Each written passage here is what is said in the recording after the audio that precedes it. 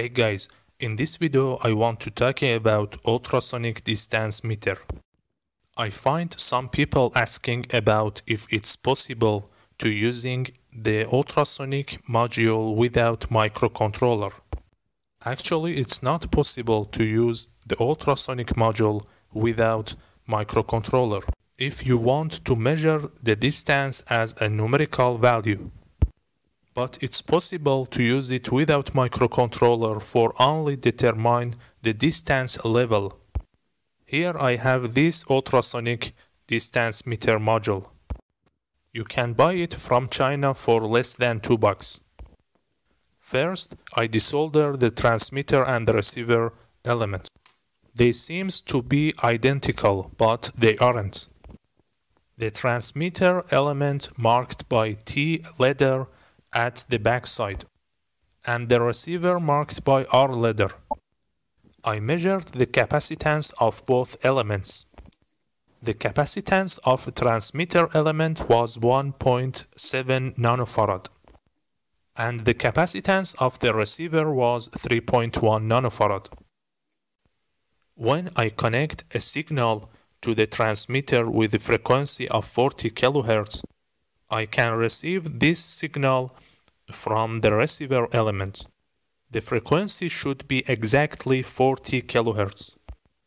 The receiving signal will be sine wave, whether the transmitting signal was square or triangle. I try to test what happens if I replace the transmitter and the receiver by each other. They still working but with lower performance and lower distance.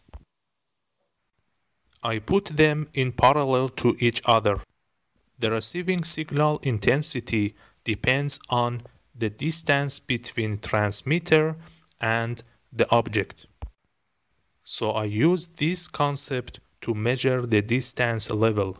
I replace the transmitting signal that comes from signal generator by a triple five IC and connect the output signal in the receiver to an audio sound level meter. In this case, I used KA2284 IC. But you can use any other sound level meter such as LM3914. And finally, as you can see, when I put my hand or any other object at the front of transmitter and the receiver, the LED bar show me the distance level. This circuit can used in the car to determine how much the car far away from the wall or other cars. Maximum distance range in this project for me was around 1 meter. But you can increase this distance range to maybe more than 4 meters if you use a signal amplifier between the receiver and the sound level meter.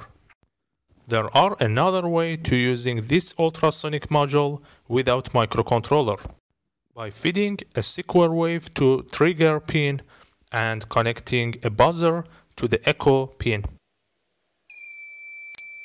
When you put your hand or any other objects near the module, the, the buzzer turns on. Thanks for watching.